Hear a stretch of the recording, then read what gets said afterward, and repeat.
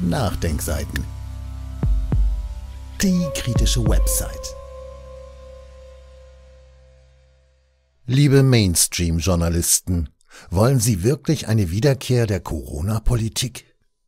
Von Tobias Riegel. Wenn nein, dann sollten Sie jetzt einschreiten, denn die nächste Kampagne für Impfung und evidenzlose Maßnahmen sitzt in den Startlöchern. Wären nicht auch Sie und Kinder in Ihrem Umfeld von einer Wiederkehr der Angstkampagnen betroffen?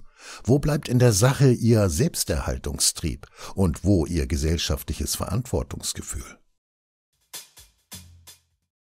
So manche kritische Beobachter werden einen Appell an Sie, liebe Mainstream-Journalisten, als naiv und die Realität der hiesigen Medienlandschaft ignorierend bezeichnen. Angesichts der Erfahrungen mit Ihnen und den großen Medien in Deutschland, nicht erst während der Corona-Zeit, kann ich die Skepsis nachvollziehen. Aber ich versuche es trotzdem. Jeder Einzelne, der erreicht wird und nun sagt, noch einmal mache ich da nicht mit, ist wichtig.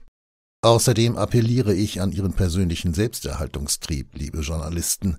Sie selber und Ihr persönliches Umfeld würden doch auch Opfer einer Wiederkehr der Corona-Politik und deren gesellschaftlichen Folgen. Und nein, hier geht es nicht um die Verteidigung eines Freiheitsbegriffes à la FDP, im Gegenteil. Es geht darum, dass man wieder einen Blick dafür bekommt, wie sehr die Corona-Politik die gesamte Gesellschaft und ihren Zusammenhalt beschädigt hat.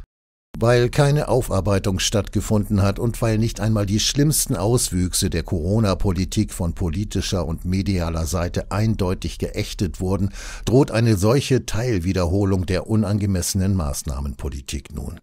Unten zitieren wir die Vorboten. Darum stehen Sie, liebe Journalisten, dieser Tage vor einer wichtigen Wahl. Sollen Sie auf den Zug aufspringen und ihn dadurch beschleunigen oder sich entgegenstellen? Vielleicht ist meine Sorge, dass sich nun zerstörerische Elemente der erlebten Politik wiederholen könnten, ja auch übertrieben. Das würde mich freuen. Ich mahne da lieber einmal zu viel.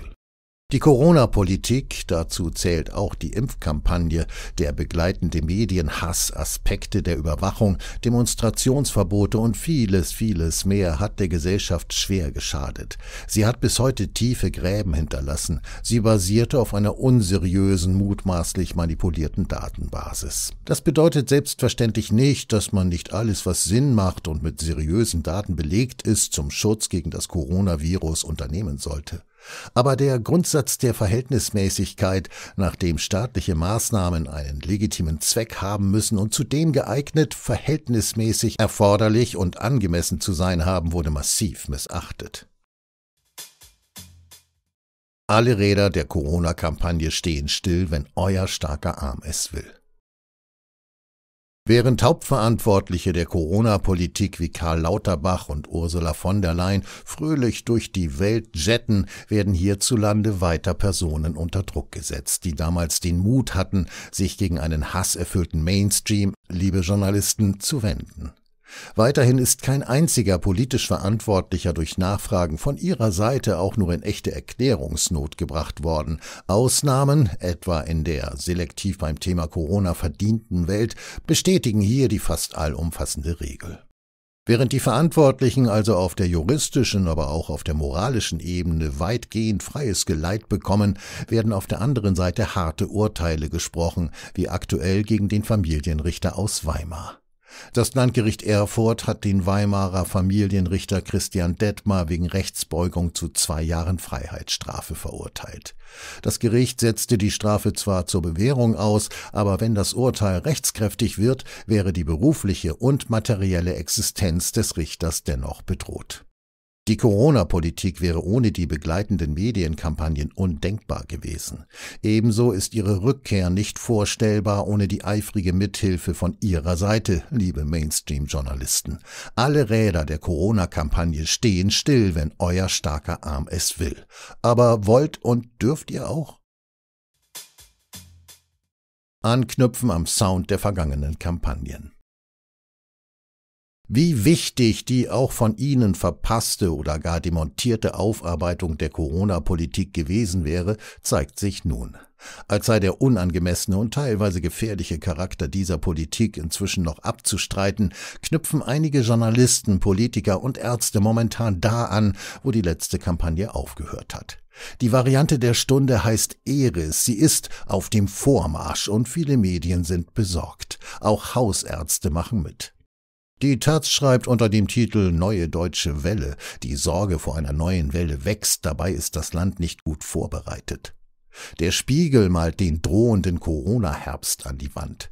In einem Interview mit der Virologin Isabella Eckerle sagte diese unwidersprochen, wir sind schon für den nächsten Winter mit einer neuen Corona-Variante, RSV und Influenza nicht gut gerüstet. Auch deswegen, weil im letzten Jahr ein Narrativ geschaffen wurde, demzufolge alle Maßnahmen und auch die Impfungen übertrieben oder sogar schädlich gewesen seien, was einfach nicht stimmt. Zitat Ende. Auch ihre inakzeptable Küchenpsychologie zu Kritikern der Corona-Politik bleibt unwidersprochen. Die Pandemie gehört, wie der Klimawandel, zu den Themen, die die Menschen traumatisieren, weil es ja wirklich ums Überleben geht. Die Flucht in eine komplette Verleugnung liegt da vielleicht näher, als sich damit auseinanderzusetzen. Hinzu kommt, dass Verschwörungstheoretiker überzeugend emotional mit Bildern, mit Geschichten arbeiten, die sehr eingängig sind. Zitat Ende. Und weil nichts aufgearbeitet und geächtet wurde, kann der Sound der vergangenen Kampagnen und die Praxis der evidenzlosen Behauptung und der Vernebelung der wahren Ursachen etwa von Notständen in Krankenhäusern nun in vielen Artikeln in großen deutschen Medien einfach fortgeführt werden. Eckerle wird im Spiegel übrigens in diesem Outfit präsentiert. Es ist sicher Zufall, dass diese möglichen Vorboten einer neuen Kampagne zeitlich mit der Lieferung neuer Impfstoffe zusammenfallen. So meldet die Tagesschau, dass BioNTech im September neue Vakzine auf den Markt bringen will, angepasst an die grassierenden Covid-19-Varianten, so die Wortwahl der Tagesschau. Noch gilt eine Scham vor der Forderung danach, Alte selbst im Angesicht ihres Todes noch zu isolieren, Kinder zu maskieren oder Schulen zu schließen. Das Verhalten, Kinder für den Schutz der Erwachsenen in eine sie schädigende Pflicht zu nehmen, scheint momentan noch zu sehr diskreditiert zu sein. Aber sogar diese Kinder betreffenden Maßnahmen könnten wiederkommen, wenn die Gesellschaft und vor allem die Personen mit großer medialer Reichweite jetzt nicht einschreiten und sagen, bis hierhin und nicht weiter. Liebe Mainstream-Journalisten, gibt es in Ihrem Umfeld denn keine Kinder, die Sie vor diesem Szenario bewahren möchten? Mitläufer und Antreiber. Zahlreiche ihrer Kollegen hatten eine zentrale Rolle als Mitläufer oder gar Antreiber bei der mindestens unangemessenen Corona-Politik bei der begleitenden Angst- und Diffamierungskampagne beim Impfdruck und bei der Weigerung, die unseriöse Datenbasis dieser Politik zu hinterfragen. Mutmaßlich, um dieses Mittun nicht in Erinnerung zu rufen, verfehlen es viele dieser Kollegen bei Corona nun zum zweiten Mal gemäß ihres Berufsethos zu handeln, indem sie keine Aufarbeitung einfordern. Dieses aktuelle Nichthandeln ist gesellschaftlich unverantwortlich. Es möge sich hinterher auch keiner über Erfolge der AfD wundern. Es mag im Moment unwahrscheinlich erscheinen, dass es gelingt, die Corona-Politik in der erlebten radikalen Form wiederzubeleben. Wenn aber erst einmal eine neue Paniksituation installiert ist, mit den entsprechenden Sachzwängen und den rasant in die Höhe schnellenden Zahlen, dann wird es wieder leicht sein, eine Sphäre der angeblichen Unwissenheit zu kreieren, in der auch harte Maßnahmen nicht mehr seriös begründet werden müssen und in der skrupellos mit Emotionen gearbeitet wird. Und dann wird es zu spät sein, um noch rational durchzudringen.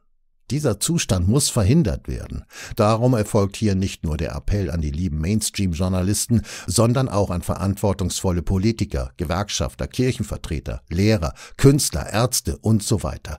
Bitte lassen Sie das nicht noch einmal zu.